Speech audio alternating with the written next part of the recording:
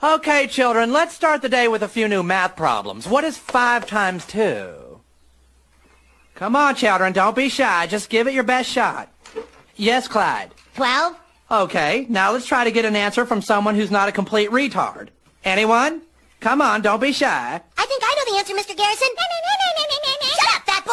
Hey, don't call me fat, you fucking Jew! Eric, did you just say the F word? Jew? No, he's talking about fuck. You can't say fuck in school, you fucking fat ass. Kyle! Why the fuck not? Eric! Dude, you just said fuck again. Stanley! Who? Kenny! What's the big deal? It doesn't hurt anybody. Fuck, fuckity, fuck, fuck, fuck. How would you like to go see the school counselor? How would you like to suck my balls? What did you say? Uh, I- I'm sorry, I'm sorry. Actually, what I said was... How would you like to suck my balls, Mr. Garrison? Holy shit, dude.